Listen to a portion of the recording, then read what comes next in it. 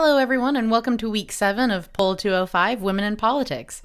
Now, this week, I want to talk a little bit about voters' perceptions of women who run for office. And one thing that I want to call attention to is that in your book, um, they pretty much argue that women aren't really um, at any specific electoral disadvantages. So they look at the media, voter bias, and campaign finance. And across the board, they show that, well, women get about uh, the same, if not more, news coverage than male candidates. So, no, they're not disadvantaged by the media. Um, they looked at campaign finance and they said, no, women earn just about as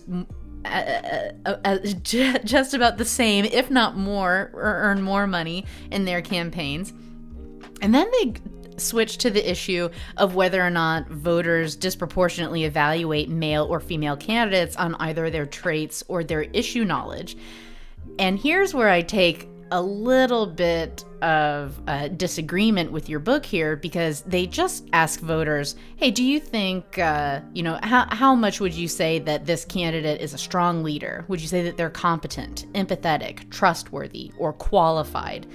And as we see here on figure 4.3 in your book for chapter 4 on page 62, they see virtually no differences between how men and women candidates were evaluated on their traits eh, either eh, across either party. You see these results are basically the same. And then when they asked voters to uh, provide evaluations on issue competency, so how well would this candidate deal with nas- uh, national security or crime, the economy, healthcare, abortion, again, these bars are almost identical. And they use this data here to suggest that voters don't really seem to have any gender biases. And this is where my research comes in because I argue that a lot of these studies will ask these questions in a vacuum without any context. And of course, there's no reason for us to think otherwise that, you know, men and women, politicians vary in any significant way.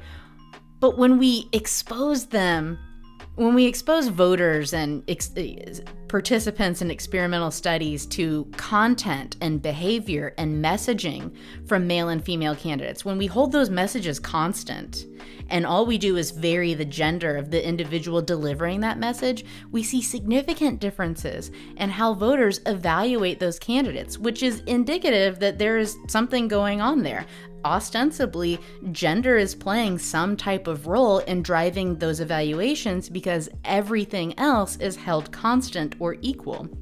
So I just kind of want to go over the uh, gender stereotype literature in a little bit more detail today because I think it greatly aligns with where we're at in the semester. And this is what my professional research focuses on. So I'm really passionate about this topic. So I just wanted to share a little bit of the research that I've done and share with you guys in today's lecture. Um, so just, I want to go over three broad findings um, that political scientists generally arrive at when we're studying whether or not gender stereotypes influence voter behavior. Uh, so there's three big findings. The first one finds that voters may be more likely to punish women candidates when they're too feminine. Um, this kind of creates the image that they might not have what it takes. Uh, to be competitive in this hyper masculinized environment such as politics. On the other hand, there's plenty of studies that demonstrate that feminine stereotypes can actually legitimize women's candidate issue competency, particularly on feminine political issues such as childcare, healthcare, or education, because we inherently believe that women are more compassionate. Uh, we think that they do a better job at legislating on those issues. And then the final finding in the literature suggests that there's no impact. Uh, it kind of like the results that were shared in your book in chapter four, that when we flat out ask individuals, um, is a male or a woman candidate better uh, at handling one of these issues? Do you find them more compassionate? Do you actually find them more trustworthy? On its face value, um, people say no. Uh, so we are kind of at this multi crossroads here. There's like a fork in the road when it comes to studying this this issue. we see different scholars arrive at all kinds of different conclusions. So, why is this? Why do some studies find that um, voters punish women candidates when they're too feminine? Why do some studies find that uh, feminine stereotypes benefit candidates? And how do some studies suggest that, you know, there's no difference at all? And my whole argument is that that really boils down to how we measure stereotypes and how we activate the stereotype process. So, in your book, uh, the example that they use to suggest that stereotypes don't play a role in voter behavior, there's no stimulus activating a stereotype consideration. What's very popular in the social psychology research is that stereotypes lay dormant until they're activated. So if we don't activate them, of course, those attitudes aren't going to manifest when asked. So that's kind of what my research does. I provoke people. Um, or not necessarily provoke, but I provide contextual environments for which people can consider the differences uh, between a male candidate or a female candidate. So let me just jump into the kind of theoretical foundation of my research. Um, as I mentioned earlier, all kinds of different studies measure stereotypes in a lot of different ways. They can present uh, participants with kind of hypothetical candidates, or they can, uh, you know, show them campaign speeches or advertisements uh, or or whatever. Um, there's just very little kind of consistency or consensus for how we measure this type of stuff in the first place. So I'm just suggesting that we take this, uh, our, our study of gender stereotypes, all the way back to the social psychology literature and political psychology literature that's really done a phenomenal job at breaking down what exactly a stereotype is. And for social psychologists, they argue that all social judgment, and how we perceive in groups and out groups really boils down to two distinct evaluations that we make about an individual. So, first is how warm we perceive that individual and how competent we perceive that individual. So, I think this is really fascinating. Let's take um, uh, each of these concepts in a little bit more detail. So, warmth is exactly what it sounds like. How warm or cold do we feel towards a certain group or individual that we've just met? And really, the subconscious evaluation that's going on here is whether you perceive that group or that individual to be a threat that is competing against you. The other critical component of the evaluation is competence. So, here the evaluation is more concerned with how we perceive that group's social status. And each of these combinations produce distinct emotional reactions, which I argue is the thing we really need to be measuring in order to determine whether or not a stereotype belief was activated and influenced a voter's evaluation or perception of a candidate. This also has roots in political science referred to as affective intelligence theory, but I'm not going to get too into that uh, in this lecture. Uh, but let's take an example um, of what exactly all of this means. So, for instance, uh, say we've just met someone and, and we feel really warm towards them. Uh, we don't really perceive them as a threat to to um, to us. We don't find them to be competing with us. So we have pretty positive emotional reactions about that person, right? Well, this is where competence comes in, and it's critical to to analyze social judgment on these two dimensions. So if we feel really warm towards a certain group, and perceive them to have low competence or low social status, then that produces feelings of pity and despair, these negative emotions, because we feel sympathy for these groups. When we perceive groups as very warm and also very competent, this produces emotions of admiration and pride, and is generally how individuals perceive others who fit into their same in group or, you know, share the same racial, gender, ethnic, religious identities. Now, the low warmth evaluations are where it starts to get really interesting. So, low warmth, low competence evaluations produce feelings of disgust. We feel cold towards these groups because we see them as competing against us for access to resources. So, poor people who want what we have is a good example. Uh, and we feel disgust towards them because we perceive them to have low competence or low social status. The low warmth, high competence category produces envious emotional reactions. So we feel coldly towards the group. Rich people is a good example. We want what they have.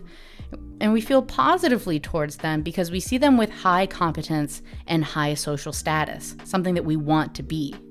And what my research investigates is whether we can find evidence of voters stereotyping male and female candidates if we use a more nuanced measurement like this that more accurately captures the fundamental dimensions underlying the stereotype process. So, the first thing I wanted to do is let's just start from scratch. Let's look at campaign advertisements and let's see how they make appeals to warmth and competence. And if they fall into these categories here from the previous slide, pull that up real quick. If campaign advertisements make cold appeals but low competence appeals, then maybe we should expect those, you know, viewers of those advertisements to feel contempt. And perhaps that will drive their evaluations of the candidates. And what I'm trying to tease out in my research is does that vary between male and female candidates at all? So, without belaboring the point, a few years ago, I painfully watched uh, 1,400 congressional campaign advertisements that aired in the general election between 2010 and 2016, and I coded them on over 100 different dimensions, such as the emotional appeal that they made was it positive, negative, uh, humorous, enthusiastic, angry, sad, fearful. Uh, and then I looked at all of the different competency claims that were made in the advertisement. So ultimately, what I found is that candidates make competency claims in either one of two ways. Either they emphasize their merit, uh, so they're talking about their experience, their qualifications, their leadership skills, things that make them qualified to be a politician. Or uh, candidates will focus on their values. Uh, so, talking about things like family and morals and principles and ideas of democracy and normative expectations for government and things like that. And so, what I wanted to do is to create kind of a map, uh, a very similar dimension of warmth and competence uh, that could kind of encapsulate every type of political advertisement that we see in the United States. So, um, the only other thing that I want to add is that there's three major types of political advertisements that candidates use. Those can be promotion ads, which just feature the candidate and they talk about how awesome they are. There's contrast ads, where the ad will usually begin with the candidate talking about how awesome they are, and then they'll pivot to how terrible their opponent is. And the final type of advertisement is the classic attack ad. So, generally, the candidate isn't featured in that at all, and the ad is exclusively based um, on discrediting their opponent. So, when we look at those three types of ads promotion ads, contrast ads, and attack ads and we try to map them on whether they make um, negative or positive emotional appeals, or merit or values appeals, we end up with this interesting taxonomy uh, of stereotype content in political advertisements. So, let me just show you briefly in a little bit more detail what I found and what this means, and then I'll show you some of my favorite examples of each of these advertisements. Um, and these were the advertisements that I showed in my experimental analysis. So, let's just start with the promotional ads there were four different types of promotional ads that I found that fit into the stereotype uh, taxonomy of, of warmth and competence. So the revivalist is a really cool type of ad. It's a promotional ad where the candidate is talking about how awesome they are, but they're using negative emotional appeals to do that. And before I started this process, I thought to myself, well, why on earth would you use negative appeal to negative emotions like fear or sadness or anger when you're trying to talk about how awesome you are. And it's a really interesting strategy. So, the revivalist is a promotional ad. It uses negative emotions, and then the candidate just focuses on their values. So the ad will generally start as, you know, America is in more debt than it's ever been in our nation's history, and things are terrible. But don't worry, I'm here to save the day because I value family and uh, ethics, right? It's very strange. It's a very strange strategy. I'll show you examples of all of these, or a few, depending on how much time we have at the very end um, of this slide. The Maverick is the same thing. It's a negative ad, um, but it's promotion. So the candidate's just talking about themselves, but they're using this negative emotion to paint this really terrible picture of America. But don't worry, I have the expertise necessary to turn this country around and get us back on track again. And then the last two are the the positive promotion ads. So the native is positive emotions, promotional, and it talks about the candidate's values. Whereas the philanthropist is again promotional ad, uses positive emotion, and they talk a lot about their experiences and the things that they've accomplished. Contrast ads, there's only two typologies here. Uh, you have the charmer, which is an individual who will contrast themselves to their opponent, but when they contrast themselves, they're talking about how excellent their their values are and how much they um, value family. Uh, and honesty, and that's why they deserve to be elected. Uh, and then the expert ad um, instead of relying on values to convey to voters why their experience, or I'm sorry, why why they are qualified, they uh, focus solely on their experience, their merit, and their qualifications. So there's no emotional um, difference here because these ads, these contrast ads, are as equally positive as they are negative. And lastly, when I was doing my content analysis on attack ads, I found that really there's no distinction between how much a candidate will attack their opponent on either their values or their merit. I find that candidates when they attack, they throw the whole kitchen sink at their opponent. So they're not really concerned about, like, I'm just going to attack my opponent on their values, or I'm just going to attack my opponent uh, on their on their merit or on their experience. I found found in my research at least that when you attack, you attack on everything. Can't uh, character, traits, experience, everything. But the one interesting thing that I did find is that the emotional appeal varies a lot, um, and I was surprised to find so many. Uh, positive emotion attack ad. So, this is basically when a candidate uses humor to attack their opponent. Um, and what's really interesting is that this is most common in female versus female races. And I argue that um, that's, you know, just more evidence of candidates being cognizant of gender stereotypes. They don't want to be the, you know, quote, bitchy female candidate who's, you know, um, recklessly attacking their opponent. Um, they actually uh, strategically use humor to to help soften their image and not get backlash for being too negative or too aggressive, too masculine, not feminine, right? So let's look at a couple of examples of each of these advertisements. They're some of my favorite, and I hope you enjoy them.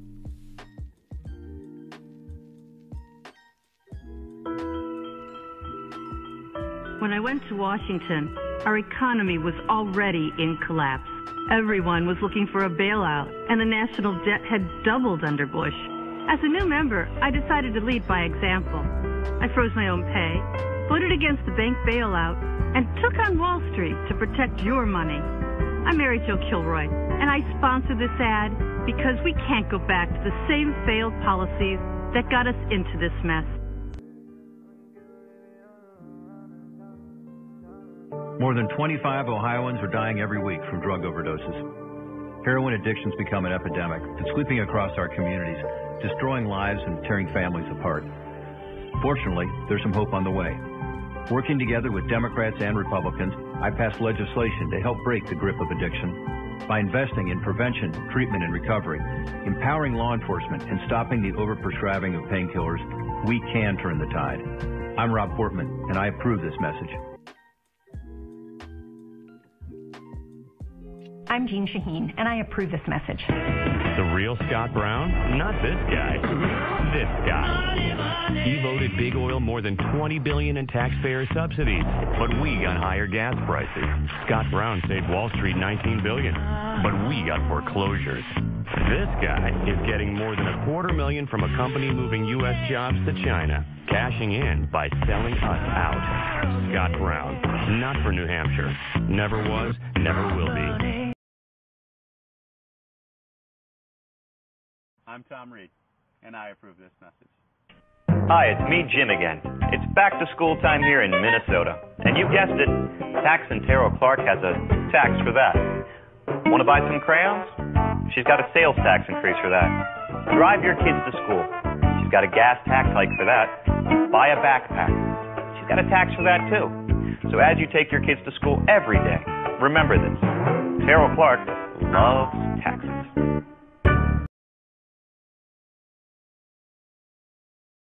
Democrats, independents, and Republicans can agree. We need more jobs in southern Arizona. And while the politicians bicker, I'm getting things done. Saving the A-10 and our defense jobs from reckless cuts. Investing in vital infrastructure projects and the jobs they create. Keeping the Cherrybell Postal Facility open. And passing a new law to fast-track our vets for good jobs at the border. I'm Martha McSally, and I approve this message because I'm deployed to D.C. to get results advertising. Michael Bennet is the kind of public servant we admire. He's hardworking and reliable. Surrounded by gridlock and obstructionism, Michael Bennet has worked both sides of the aisle. He helped craft an overhaul of the education bill, secured an energy tax credit for wind and solar, and understands Colorado's public lands are our greatest treasure. On the issues that affect Colorado most, Michael Bennet has our back. I'm Michael Bennet, and I approve this message. I think there's a clear choice. Jeanne Shaheen's always fought for small businesses. Her Small Business Jobs Act cut our taxes. Jeanne Shaheen championed innovation grants. We've hired 50 new people. Jeanne Shaheen actually cares for the people of New Hampshire, and Scott Brown is just in it for himself. Scott Brown is in the pockets of big oil. Scott Brown voted tax breaks for companies that outsource jobs. I think that's just wrong. Scott Brown is for Scott Brown and big money. Jeanne Shaheen makes New Hampshire her business. I'm Jeanne Shaheen, and I approve this message. We can count on Jeanne Shaheen.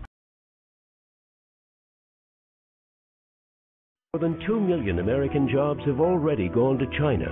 Jackie Walorski supports the bad trade policies that send our jobs to places like Mexico and China.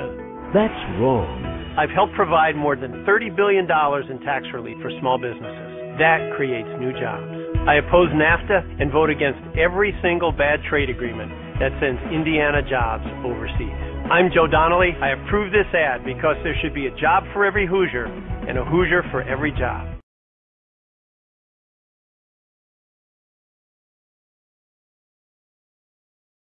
Our national debt is $16 trillion, $51,000 for every man, woman, and child.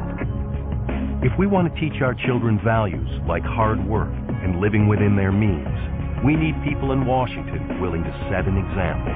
Leaders focused on the future who ask where can we save, not how much can we spend. Kristi Noem, one of us, fighting for all of us. I'm Kristi Noem, and I approve this message. Okay, so lastly, I just want to take you through some of the uh, results that I found. So, the first thing I wanted to see was whether male or female candidates differed significantly in the type of messaging strategy that they used when communicating to voters. And based upon the the research in this field, um, you know, there's a lot of evidence that suggests that women candidates often go out of their way to convey how experienced they are because you know uh, this idea of the double bind that they face, which I think the double bind um, is discussed in this chapter. If not, it, should be a, a concept that has been discussed in previous chapters.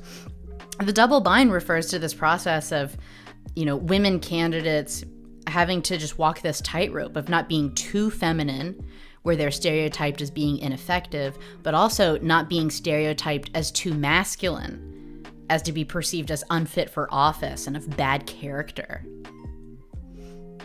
So, based upon the, the, the, the, literature and the research on the double bind, many scholars find that women do, in fact, uh, engage in more type of activities and messaging that convey their experience and their qualifications. So, I had two separate hypotheses that I wanted to test. And that is one, that women will be more likely than their male candidates to utilize a merit based messaging strategy because they're trying to overcompensate for female stereotypes. And that, two, on the other hand, we should see women be significantly less likely than men to utilize values based messaging strategies. And that's exactly what I find um, in my research. So these uh, are three of the merit based strategies that we just talked about. So, the expert was the contrast ad, where the candidate uses their merit to contrast themselves to their opponent. The philanthropist was the promotional ad that used positive emotion and a merit based appeal. And then the Maverick was the other promotional ad, but used negative emotion to also highlight the candidate's merit and expertise. And basically, you see the pink dots, which are the predicted probabilities, are higher than the blue dots across each of these. So that does provide some evidence that women are more likely to engage in merit based strategies than males. So there's some support for this hypothesis here. And then the second thing I wanted to analyze was are women less likely to use values based messaging strategies? If they're so concerned about being perceived as too feminine, then we should see women way less likely to engage in those type of messaging strategies. And I do find some evidence for that here as well. You notice that mostly uh, the pink dots are lower than the blue dots, which shows that men were more likely uh, to use values based messaging and women were less likely to do so. So I think that this is what I argue, at least in my research, is this is empirical evidence that candidates kind of adjust and moderate their behavior with special regard to gender stereotypes in American society. Now, the last thing that I wanted to look at was how do voters respond to these advertisements, the same advertisements that I just showed you. So, all else being equal, right? I mean, the, the message is, of course, it varies a little bit. Um, they don't have the same exact scripts, but I wanted to see is a voter going to respond to a candidate who has a, a humorous attack ad? Are they going to respond differently based upon whether or not it's a male or a female candidate who's being attacked? And I do find some evidence of that. So I I measured the uh, emotional uh, stuff first. I'm just going to throw these up here uh, for you guys to look at. I'm not going to get into too much detail, but uh, the whole underpinning of my theory is that it's you know these type of messages like produce really different emotional reactions, and that's kind of the the the hallmark, the indicator that the stereotype was activated because they have these really strong emotional reactions. Um, so I'm just going to throw these up here, not go into it in too much detail, but if you want to pause the video, feel free to take a look at it. So these were the emotional reactions to the merit based strategies. Um, and when something is highlighted, that means that people were significantly more likely to feel that emotion in that specific category. So you can just see here's the male um, I'm sorry, the female and the male names for each type of um, merit based strategy. So I did find significant emotional reactions there based upon the gender of who was delivering the advertisement. Um, and then here is the same uh, here's the same figure for the values based strategy. So, really interesting stuff there if you want to take a look at it in more detail. But what I really want to get to, uh, without making this lecture too terribly long, um, is the probability of the voter uh, feeling favorable towards that candidate based, on, based upon what type of ad they were exposed to. So, uh, in this figure, this is the the average likelihood that the respondent reported that they would vote for that candidate, you know, based upon which candidate they uh, were exposed to. So keep in mind, out of the, you know, 3,000 some participants that I had in this study, um, each individual only watched one of the ads. So I'm comparing each of these to all of the others. Um, and what's super interesting is that when we look at the Joker, that's the positive emotion attack ad, look at how much more favorable people were to- towards the female candidate who was attacked with humor. But the male candidate who was attacked with humor, far less uh, appealing. Um, in fact, when we look at both types of attack ads, the Joker, which uses positive emotion, and the Doomsdayer, which uses negative emotion, the female candidate here in the Joker is elevated way more. People were way more likely to report, um, you know, wanting to vote for that candidate than any other attack ad. So one thing that I argue in this research is that it, the the stereotype of being a woman and being compassionate and trustworthy, that stereotype can help insulate women against attack ads that you know are congruent kind of with that gender. So when the attack ad is positive and it's light and it's funny, it just doesn't really work against women. And I think that the the feminine stereotypes kind of insulate women from from those really severe attacks.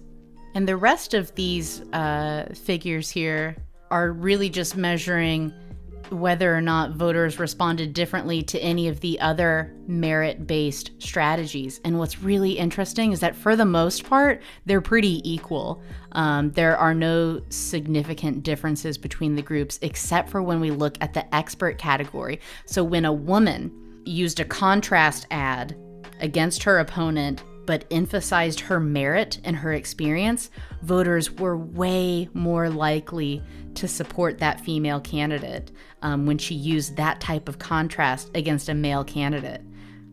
When men, so the blue bar here on the expert, when men contrast themselves to a female opponent, and they say that they're more qualified and they've got more expertise than their female opponent, people are actually way less likely to be supportive of that candidate. So, really interesting gender dynamics happening here. And then the last thing that I want to show you um, are those values based messaging strategies. So, were people more likely to punish female candidates if they used values based strategies?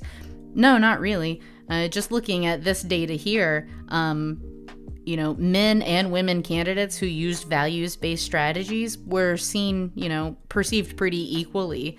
Uh, people were just as likely to vote for the male candidate as they were the female candidate, regardless of what type of values based strategy that they used. But again, um, there is marginal uh, significance here with the, the charmer ad. So basically, what I do find in my research is that people are most favorable towards women candidates when they contrast themselves and they can use merit based claims or values based claims, but when they contrast themselves actively in an advertisement, people are really, really receptive to that.